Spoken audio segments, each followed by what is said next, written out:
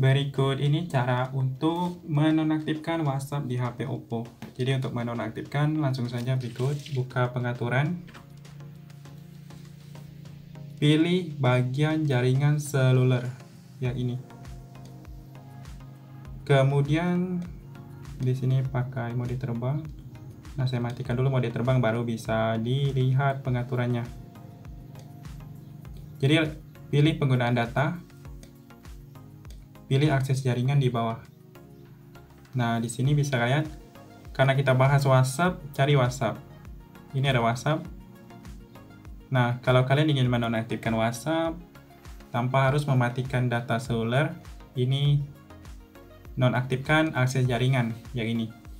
Jadi panggilan pesan itu tidak akan masuk karena dia dalam mode nonaktif.